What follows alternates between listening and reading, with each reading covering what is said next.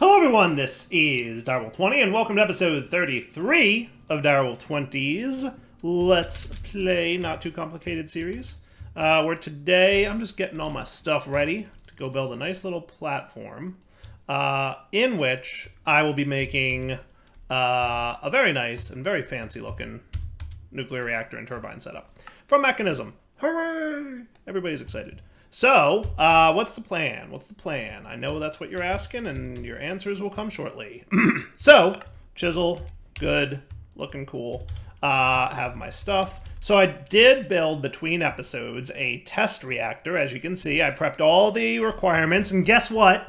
The roof and ceiling can both be made out of glass. They 100% can be made out of glass, which is good news. I literally just wanted to see if this fission reactor would form. Some multi-blocks like the floor and ceiling to be made out of the block mechanic. Some don't seem to care if they're made out of glass or not. You know, sometimes the rules are the sides can be glass, but the base and the ceiling can't. With the Mekanism reactor, absolutely accepts glass, which is good news because I would have needed 50 more fission reactor casings, which, as we know, uh, were a little bit steel casing-y. So glad that we didn't have to do that. So that said, I'm now going to go set up a uh, fission reactor area. Uh, how about we just go like do north? Is this north? No, this is east. Let's go do north. Well, yeah, no, let's go do east. We'll go do east. I, I like this direction. I'm just gonna go ish in this direction. Let's go to like around. Oh, windswept. Why do I feel like this is snow? Is that snow? I definitely don't want snow and taiga. No, we don't want that, do we? I don't want, I don't, I don't, I don't want snow on my reactor. Thank you very much, but no. Warm beach. That sounds nice, doesn't it? Mangrove marsh. Sure. We're gonna hit, you know, I want to make sure we're far enough away. Let's go... Sure. This feels good enough. Hooray! Now I'm at Y level 70 when I'm standing on the platform. Let's see. Where, what's this platform at? Because I think I'm a little bit high. 65. Good to know. So let's get this down. If that's 70, then this will be 69, 8, 7, 6, 65. Right? 65 when I'm standing on the platform. 65 when I'm standing on the platform. All right, horizontal wall, ready to go. And I'm just gonna expand this platform-ish. I mean, it's it's still a little bit close, if I'm being honest, but not too close. Hopefully, that if we have a nuclear meltdown, which have we yet to have an episode or a series of the Direwolf 20 stuff where I haven't accidentally caused a nuclear disaster? Like, has that ever happened? I I feel like the answer is no. I feel like I've always, you know, had some mishaps now, you know, here and there, but... Mm. Come on, range, let's go. Feral Flare Lantern, please. Looks like we're low on glass. Give me a couple hundred. That should craft quickly, courtesy of me doing it the other way now. And then uh, we'll just kind of go plop this guy down. Hopefully not too many mobs have spawned. Yeah, we got a few. Yeah, we got a few it now suddenly occurs to me um, that we 100% do not have any armor on at all. Classic Dire. I didn't even check to see if I centered that correctly, but I'm going to call it probably good enough. Um, just enough to do what I want. Now, you might also notice there's a lot of flies going on over there. Um, let's get ourselves a dread lamp. And that will help prevent that from happening. Because flies are annoying. Remember I was dealing with them a while back? And maybe what I'll do is, well, now that I'm less concerned about my life, I'll kind of go for a little bit slightly more centered position. Is that is that close enough to centered? I'm going to say yes.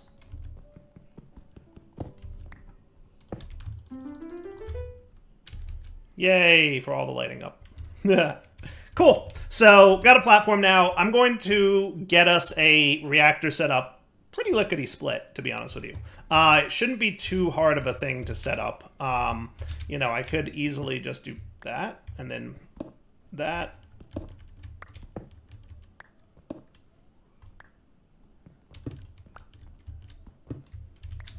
And we're ready to go, right? Yeah. So we're making our first reactor today. I think the basic gist will be as follows. I think what I'm going to have is let's put the reactor further away from our base. So maybe like the reactor here, the turbine here, and then some supporting stuff here in front of it. And then we'll have a, you know, if we have to shrink the platform, we can, or whatever we feel like doing. We should also try to keep everything within a chunk boundary, which thus far I am not doing a good job of. Not at all. So let's expand this out a little bit more-ish. So that we have like an entire... Yeah, the chunk lining is not great, is it? It's really not. It's super duper not. So let's do this. I'm just to move everything over um, so that it's more aligned with chunks. And I feel like that would be the smarter way to go.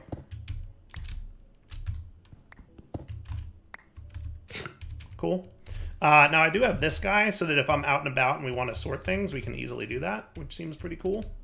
Um, so yeah, what we're going to want to do, I'm going to want to make sure that we're like nicely aligned with a chunk. So I'm basically going to do that. That feels good, right? So that it's a little bit more than a chunk. That should be enough. Yeah. So that'll all be self-contained in one chunk, and ideally we can make it so that, you know, stuff's cool there, right?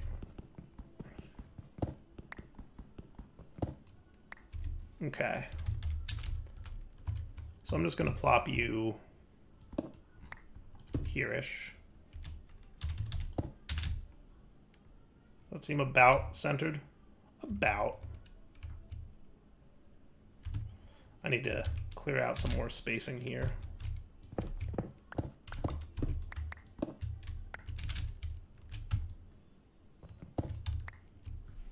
All right, so this looks good to me. So I'm gonna have a five by five and a seven by seven. So that's seven plus five is 12, so that gives four gap in between. I think that should be plenty. So let's get our reactor set up first. So that's not gonna be hard, like I said. Uh, so I'm gonna keep that kind of, yeah, it's fine. Here's fine, right? So I'm gonna go like here. One, two, three, four, five, six, seven, six, six, and five. And then it's seven tall, so one, two, three, four, five, six.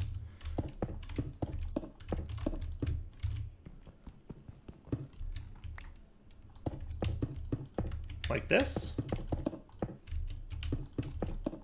And five. And then you, we're going to do a lot of building to me, so we're going to be prepared for that mechanic. Boom, boom, boom. Okay, now for glass. It's going to be very much the same.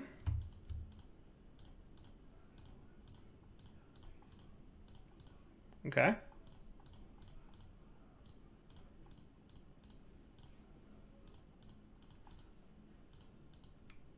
Cool. And then the last bit of glass is going to go here. And then inside, remember, we need control rod assemblies to be spaced like so.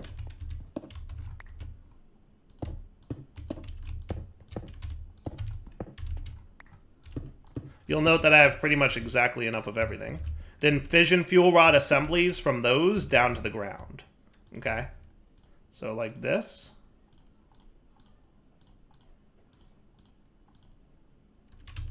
And remember, if you click on the reactor itself, it gets a little touchy about stuff.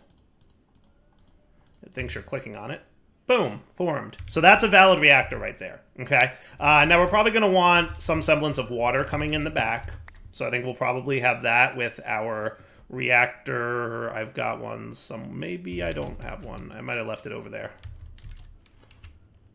Now that it, it occurs to me that um, these guys, yeah. So we're going to want four of these probably. So I want two more fission reactor ports. Which is going to require a whole multi-block crafting, but that's okay. Uh, and the reason we want this is we want one for fuel in, one for waste out, one for water in, one for steam out. So we want four reactor ports. Okay?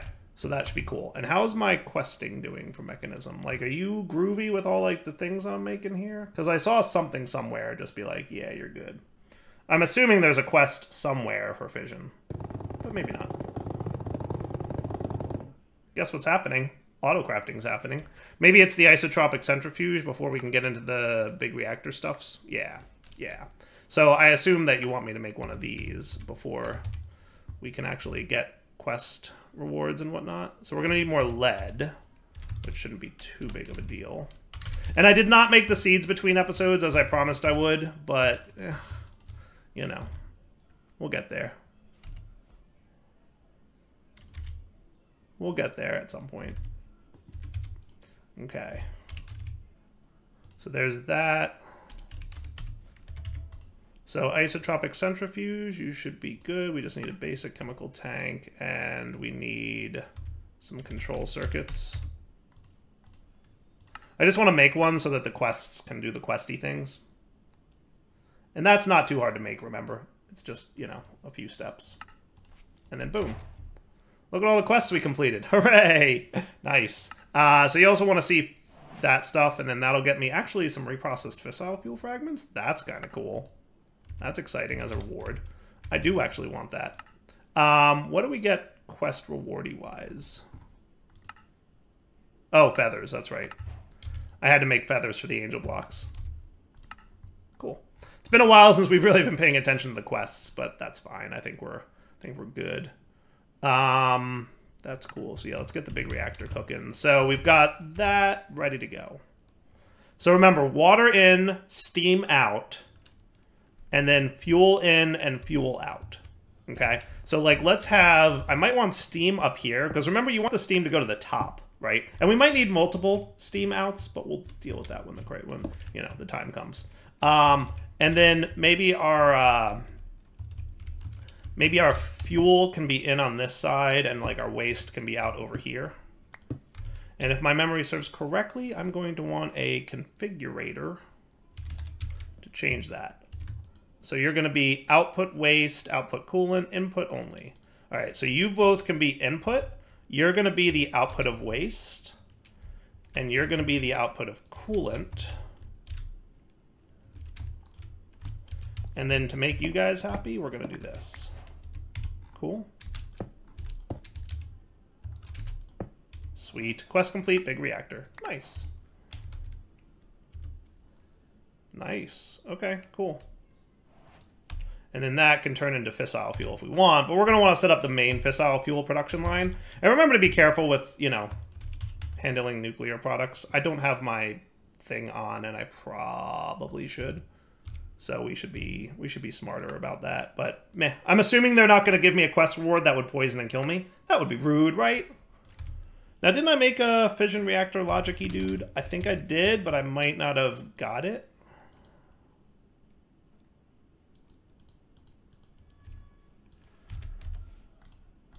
Uh, I taught it how to make them. I didn't actually make one, though. So that's fine. Do you have to make another one of those steel things? Because that's going to be annoying. We'll be back. There we go. Fission reactor. We definitely want that. Remember, that's going to turn uh, things on and off. And now that I'm thinking about it, I think I want I want two of those, don't I? Yeah, luckily they're not that expensive. I'm going to sleep through this night, too. All right, so the next setup will be a 3 by 3 And uh, because I put this a little bit close, I should have moved him. I should have been two blocks away. I should have been one. But that's fine. Uh, this guy's going to be a 5 by 5 setup. So he's going to be like this.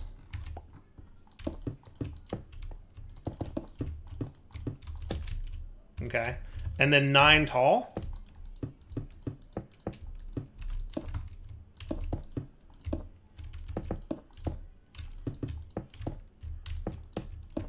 Cool.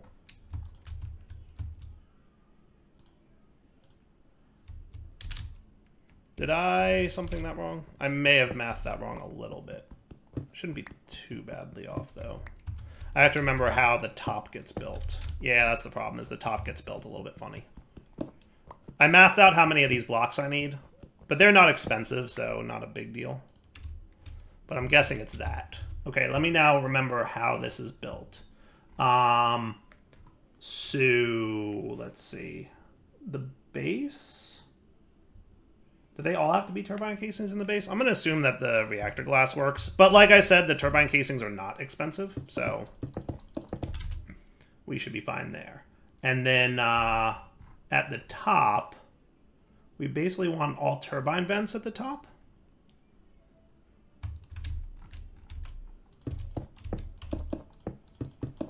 Right?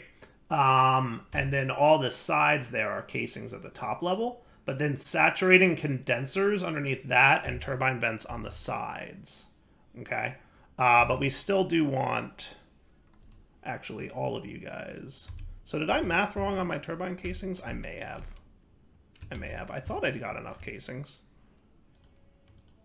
But it looks like we need about a dozen more. I'm going to get 16 more because I'm pretty sure it makes four at a time, right? Yeah. Told you they're cheap. They're not hard.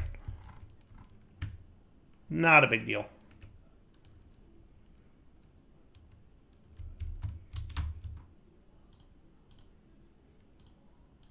Cool.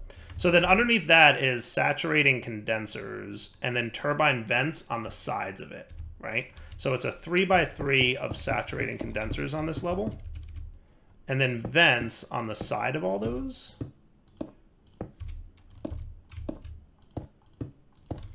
Okay. Then underneath that is another 3 by 3 minus 2. Let's do it like that. I don't think it matters where I put this, with the two electromagnetic coils here and here. And then it's all but one is going to be a turbine vent. And again, I don't think it matters which one is not a turbine vent. I think it just counts the blocks. It doesn't care too much where they are. All right, now underneath the middle magnetic coil is going to go the one and only rotational complex. And then surrounding that is going to be more pressure dispersers. Okay. And then straight down from there will be all the these guys. Okay. And then you get eight of these. So does it matter where they go? I guess it's, you know what it is? It's...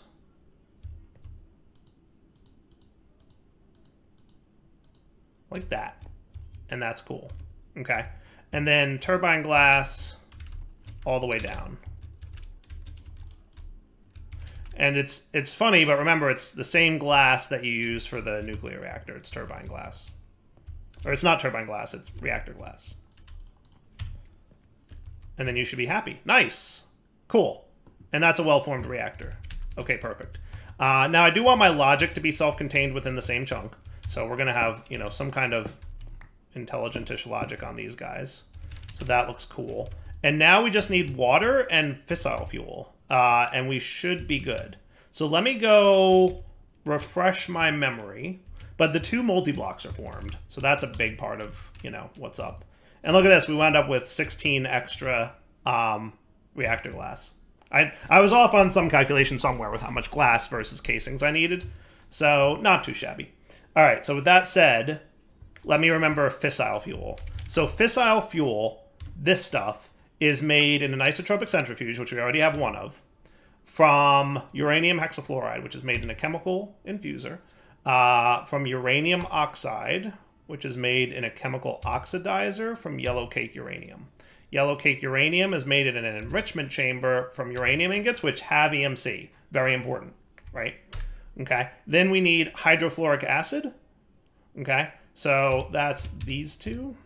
So hydrofluoric acid comes from a chemical dissolution chamber from fluorite, which has EMC, and sulfuric acid, which we can make can't we just item to gas it? Sulfur dust to sulfuric acid? But that's like, no. I think we have to do it the, this way. I think we have to do it the chemical infuser way.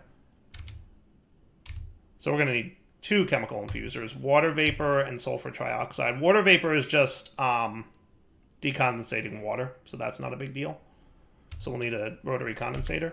And then we need sulfur trioxide, which is oxygen and sulfur dioxide in a chemical infuser, and that is a chemical oxidizer of sulfur dust, which um, we can grow if we want. Yeah, I don't think there's EMC to it, but it's growable. So that's probably what we'll wind up doing. Deal? All right, cool. So let me count all the machines I need. Let me craft all the machines I may I need, and then we'll come back in five or ten minutes to put that all together and get our fissile fuel production line going. So I think I've got all the machines that I need to make fissile fuel. decided to whip up a quick quantum entangloper, or two, which is a quest reward, by the way. Haha! Got a third one. Nice. Maybe we'll want a fourth. We'll find out. Uh, now, I should also do the sulfur seeds. Why don't I... Why don't I get that going? Yeah, it seems like a pretty smart move, right? Uh, and then in terms of getting the sulfur seeds over there, we could probably quantum entangloper them over there. Or we could just have... Uh, I think I want them downstairs in my sulfur seed production area. And then, yeah, we'll go, we'll go, we'll go from there, right? Um, so get me more of these. I think I'm pretty good on chests. Uh, and we need more hopper botany pots.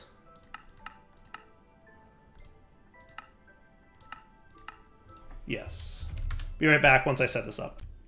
All right, guys, we are back, and I think that I'm ready to do this now. So uh, I got started with my isotropic centrifuge. I've crafted all the components we need. I've got sulfur seeds going. Let's give this a shot. So the first thing we need to get uh, for fissile fuel, which is what we're making here, is uranium hexafluoride, right? So we've got fissile fuel being made in the isotropic centrifuge. Uranium hexafluoride is made in a chemical infuser, right? So we've got a chemical infuser. Uh, there we go. That should be fine. And your job will be to output gases to the front and input gases on either side because uranium hexafluoride is going to be gas plus gas equals gas. So we really only care about gases coming in and out. We don't need items in this one. Okay, so that's your uranium hexafluoride.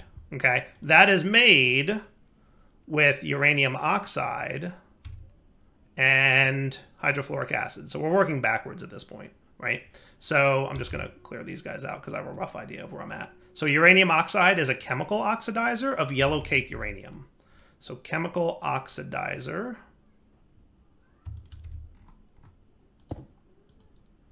And you're going to be, do I have another chemical oxidizer here? What side? Yes, I'm to use this one. Because I started doing this and then realized my recording hadn't started, so I'm putting it back together. Um, so you're going to, items can be input from the right, right? So you're going to make items and then push gases out to the left. Cool. And then my enrichment chamber here, which you can see I already put uranium ingots in, uh, is going to eject on to the left. Okay, output to the left, input from whatever side, right? So uranium ingots goes in, it turns into yellow cake uranium. Yellow cake uranium turns into uranium oxide. Cool? So those guys are done. Now we need hydrofluoric acid on the right side of this machine. And uh, you know me, I'm going to turn off my recent stuff. That should be cool. Perfect. So hydrofluoric acid is made in a chemical dissolution chamber.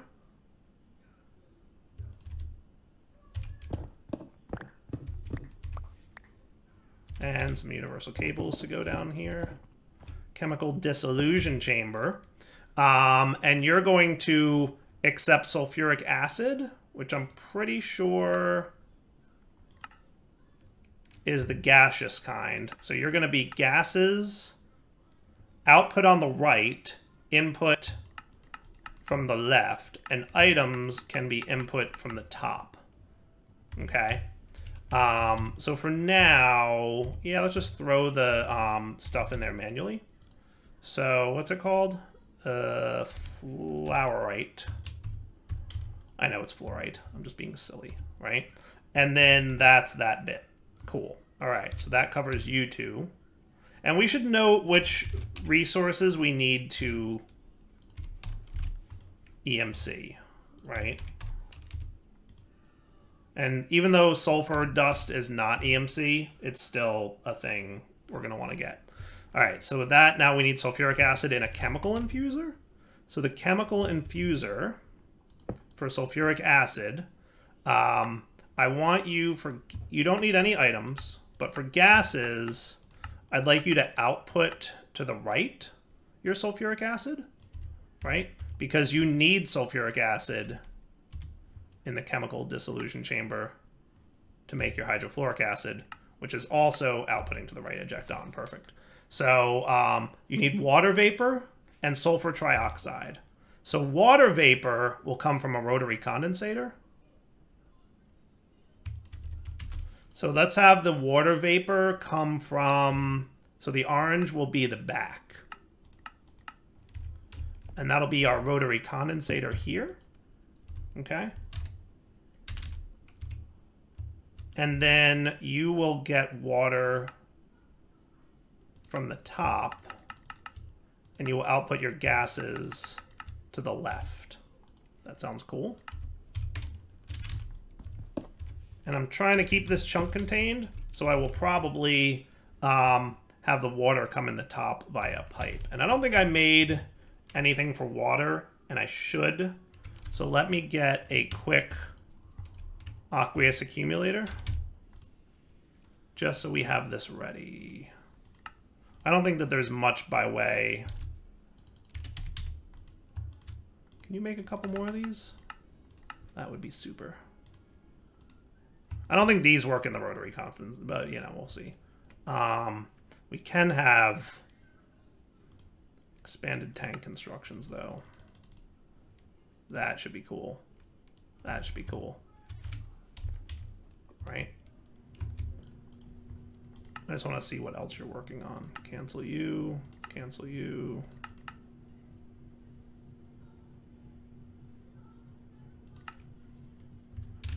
Know why you're being so weird. Oh, maybe obsidian dust doesn't come from a pole from a crusher. I think that is actually true, actually, now that I'm thinking about it. You're trying to crusher obsidian dust, aren't you? We should move that. Uh, obsidian dust. See, I'm finding mistakes in my design. I should put that back in the pulverizer, shouldn't I? Yeah, there's some recipes that are not equivalencies. Yeah, now we're cooking. Sweet. Give me those augments. And I'm suspecting I'm going to need another one of these, so I'm going to prep it now and be good. And then we'll do our ice thing to get that thing built. Cool. So you're going to get water in the top here for your rotary condensator. Okay, and I should have mechanical pipes ready to go. And we'll figure out where I'm going to put the water bit in a minute, but it'll probably be here-ish. But we'll figure that in a sec. So that's water going in the top, right? And that makes a sulfuric acid. So now we need the water vapors covered, the sulfuric acid's covered. Now we need sulfur trioxide in a chemical infuser. So that's another chemical infuser who will output to the right, and that's going to need oxygen and sulfur dioxide. Let's have the oxygen come in the back. Okay, so your red side will be here for the input. Your red will be the back for the input, and you're gonna um, also have orange from the left, and that'll be our sulfur dioxide. Okay, so that'll be oxygen coming in here. And then you will be the electrolytic separator. And I think I want you facing this way so that your side config. So fluid will be input on the top. Gases will be output 2 on the right with auto eject. And you're going to dump excess hydrogen. Cool. This is working out so far. And then you're going to have a mechanical pipe on top here for the water as well. Cool? So he will also get water. Deal. All right. That'll make sulfur trioxide and oxygen. And then sulfur dioxide will be your chemical oxidizer, which will be here. And you will get uh, sulfur, which I forgot to bring with me. So let me go get that real quick. And you'll just import in the back via something.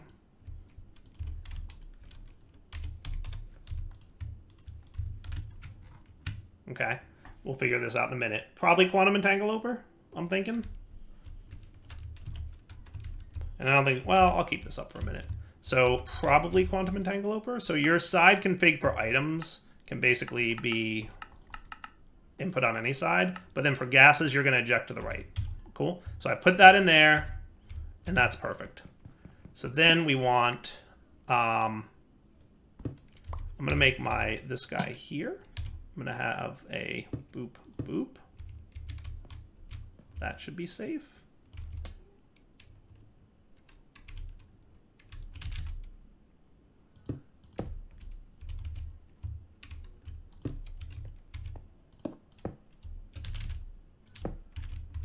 And then if I get myself some water via ice, you're going to get one of these and two of these. That's right, you can only have one. That's fine then. Oops. Alright, so you should be making lots of water. Then we get our mechanical pipe. Then we configurator it. And now everybody should be running, right? So you're turning sulfur dust into um, sulfur dioxide, combining with oxygen from here. The oxygen is turning into sulfur trioxide, which is dumping into here, which is combining with water vapor, making sulfuric acid, which is combining with fluorite, which is making hydrofluoric acid, which is combining with uranium oxide to make uranium hexafluoride, which is making fissile fuel. Boom! Production line complete. How cool is that? I love it. Very nice, very compact. Works for me, right? And then if we wanted to, we can mute a few uh, Mekanism machines. Cool. Perfect. Perfect. All right, so the one last piece here is I am also going to want uh, water production back here. And hopefully you're producing enough water. I guess we'll find out. I've never done this with this water maker before, but we could also get the pump if we needed to from Mekanism. But we're going to try something different, because it's what Dire does at times. He likes to try things a little different, right? So we'll try this, and if it's not fast enough, like I said, we'll just deal with it. Okay? We can, we can throw a pump in here. We can kind of do it whatever we want. Okay? So you're going to do that. You're going to make lots of water. He's filling up. Yeah, not too shabby.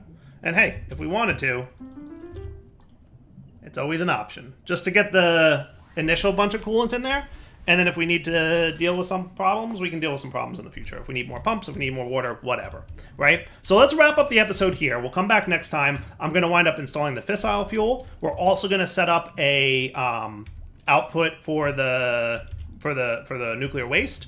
We're probably going to have to put in this chunk over here the nuclear waste processing, but that's fine. I just wanted my multi-blocks within one chunk, and we did fit them. Uh, we'll, we'll set up our outputs here for the fission reactor doohickey. Your output coolant, input only, output waste, output coolant. That's what we want, right? Output coolant. Yeah. Okay. And then, uh, you know, we should be cool. I think so. We'll find out next episode. For now, Direwolf20 signing off. Hope you enjoyed the episode. We'll come back next time with more fissile fuel. We'll automate the create the, the insertion of uranium. We'll automate the insertion of sulfur dust. We'll automate the insertion of fluorite, uh, and all that good stuff. And we should probably make some speed upgrades for all this and, you know, get everything going. Probably some gas upgrades, too. Uh, I feel like there's probably a, a case for that. So I'll do all that between episodes. For now, take it easy.